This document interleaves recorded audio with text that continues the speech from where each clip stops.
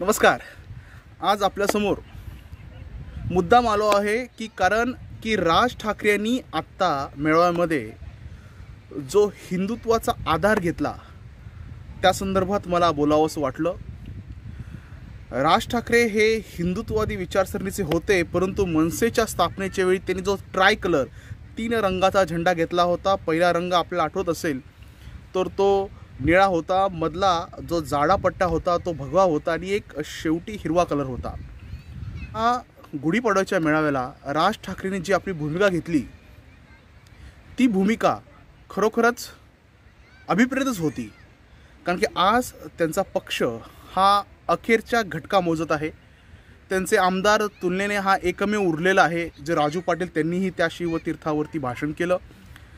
आणि कुठेतरी संजीवनी देण्यासाठी बाळासाहेब ठाकरेंची जी भूमिका होती कारण की बाळासाहेब ठाकरेसुद्धा मराठीच्या मुद्द्यावरून हिंदुत्वाच्या मुद्द्याकडे गे शिफ्ट झाले होते गेले होते आणि त्यांना फार मोठा जनाधार लाभला होता.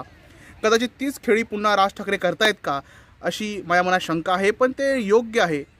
कारण की मराठी मनाचा मुद्दा म्हणजे सर्व मराठी म्हणजे अगदी मुस्लिम मुस्लिम मराठी हिंदू मराठी आणि बौद्धवर्गीय मराठी सर्वांना मराठीचा जो प्रयोग हा राज ठाकरेचा राज ठाकरेंचा हा फेल गेला. त्यामुळे कदाचित राजसाहेबांनी असं ठरवलं की आता आपण हिंदुत्वाच्या मुद्द्याला हात घालावं. चांगली भूमिका आहे कारण की हिंदुत्वाचा ओट बँक ही फार मोठी आहे आणि यू पीमध्ये ते सिद्ध झालेलं आहे कारण की एकदा हिंदुत्वाची ओट बँक जर कामास लागली तर फार मोठा जनाधार मिळतो आणि कदाचित पक्षाचं चित्र बदलू शकतं. त्याचे झेंडाही आजकाल बघतो की त्यांच्या झेंड्याचा कलर बदलला आहे त्यांच्या शाखेमध्ये त्यांच्या सर्व पोस्टरमध्ये शिवरायांची जी मुद्रा होती त्या मुद्रेचा आकाराचं ते चिन्ह असतं. आणि वरती भगवा पूर्ण झेंडा आणि खाली चॉकलेटी रंगाचा पट्टा त्यावरती महाराष्ट्र नवनिर्माण सेना हे नाव किंवा त्यांच्या झेंड्याच्या त्या भगव्याच्या मध्यभागी एक महाराजांची राजमुद्रा होती त्याची कडा आणि आतमध्ये रेल्वे इंजिनाचं चिन्ह.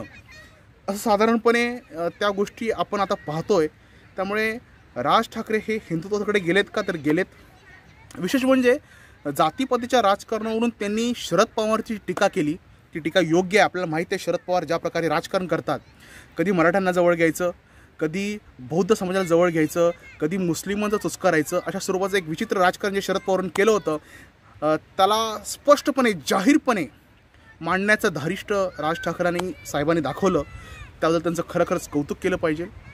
या सर्वामध्ये एक गोष्ट मला साधारणपणे माझ्या मनाला जे आत्ता मी पाहिलं ती खटकली की सुजात आंबेडकर जे प्रकाश आंबेडकरांचे चिरंजीव आहेत जे वंचित बहुजन आघाडीचं सर्व मॅनेजमेंट बघतात साधारणपणे त्यांचे सर्व सभाचं सर्व मॅनेजमेंट असेल सोशल मीडिया असेल सर्व ॲक्टिव्हिटी हे सुजात बघतात. प्रकाशराव त्यामध्ये एवढं इंटरफेअर देत नाही. त्या सुजात रावांनी एक चांगलं कमेंट आज केलं की जे भोंगे मशिदीचे तोडायचे आहेत ते भोंगे बहुजनांच्या मुलांनी तोडायचं नाही तर अमित ठाकरे ते तुमच्या मुलांनी तुमच्या राजपुत्रांनी हनुमान चालिसा असेल ते भोंगे असेल ते सगळे उतरवण्याचं काम करा त्यानंतर बहुजनांची पोरं बघू. खरखरच हे एक कौतुकास्पद आहे की सुजात आंबेडकरांनी हा मुद्दा मांडला.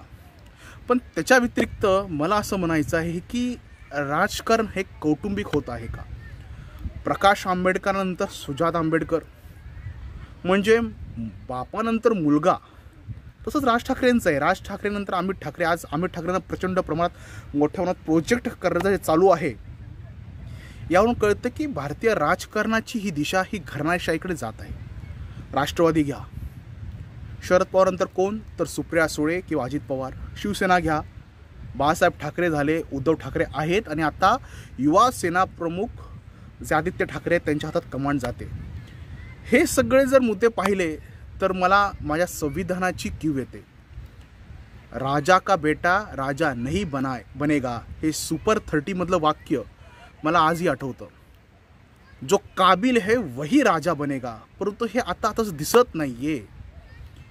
प्रकाश आंबेडकरांनी काहीतरी बोलायचं राज ठाकरे उत्तर देणार. अमित ठाकरेंनी काहीतरी बोलायचं सुजात आंबेडकर उत्तर देणार. सुजात ठाक आंबेडकरांनी काहीतरी बोलायचं आदित्य ठाकरे उत्तर देणार.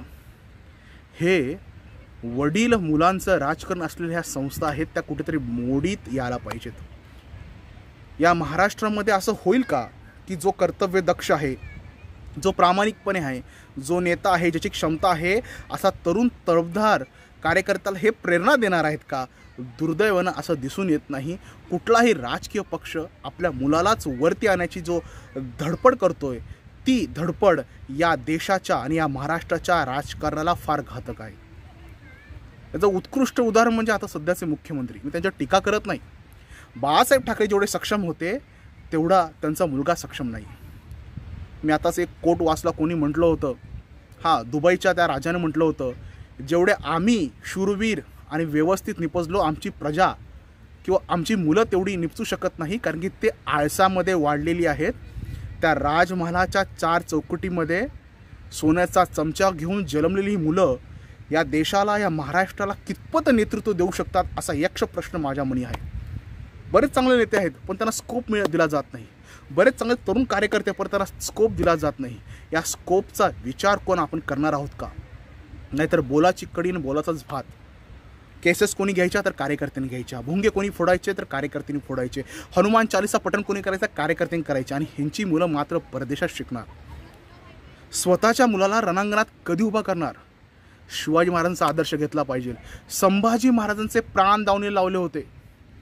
संभाजी राजे प्रत्येक वेळी फ्रंट फुटला खेळायचे फ्रंट फुटला शिवाजी महाराज फ्रंट फुटला खेळायचे. आत्ताचे नेते भोंगे फोडा. हनुमान चालीसा म्हणा आणि सगळ्या केसेस अंगावरती घ्या. मला आजही आठवतं ज्या ज्या लोकांनी केसेस घेतलेले आहे त्यांचा पक्ष त्यानंतर त्यांना वाऱ्यावरती सोडतो. हे फार दुर्दैवी आहे.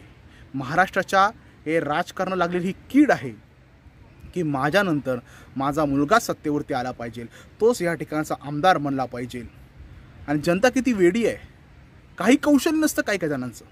लायकी नसते पण तो लोक त्यांना देव मानतात. सलाम करतात. बऱ्याच मतदारसंघात बघतो. वडील वारले की मुलगा आमदार. हे चुकीचं आहे. आणि ह्याला कुठेतरी छेद देण्याचा प्रयत्न या पंढरपूर विधानसभेत एकदा झाला होता.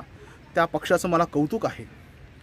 आणि आत्ता एक चांगला प्रयत्न भाजपने केला. खरं खरं भारतीय जनता पार्टीचे आभार आपल्या सगळ्यांना मानाय पाहिजेत की मनोहर पर्रीकर जे सक्षम नेतृत्व होतं संरक्षण मंत्री होते गोव्याचे अनेक वेळा मुख्यमंत्री होते त्याच्या मुलाला त्यांनी तिकीट नाही दिली. कारण राजाचा बेटा राजा झाला नाही पाहिजे तो झाला पाहिजे. तर त्याच्याकडे ती क्वालिटी असेल ती सक्षमता असेल त्याने ग्राउंड रूटला काम करावं. आपलं एक केडर निर्माण करावं. आयत्या पिठावरती रेघोट्या उडू नये. आणि भारतीय जनता पार्टीने जो निर्णय घेतला की नाही मनोकर मनोहरभाईंच्या मुलाला तिकीट द्यायचं नाही तो निर्णय जनतेनेही मान्य केला आणि जनतेमध्ये आज भारतीय जनता पार्टीची एक चांगली प्रतिमा समोर आलेली आहे. त्यामुळे आगामी काळात आपण सगळ्यांनी दक्ष राहणं गरजेचं आहे. राजा का बेटा राजा नाही बनेगा. काबिल ही राजा बनेगा. मग राज ठाकरे काही म्हणत सुजात आंबेडकर काही म्हणत कोणी बहुजनांचं काढू देईल कोणी ब्राह्मणांचा काढू देईल आपला विश्वास हा फक्त भारतीय लोकशाहीवरती आणि राज्य घटनेवरती असला पाहिजे. जो काबिल हे वही राजा बनेगा हेच मला या ठिकाणी म्हणायचं आहे धन्यवाद.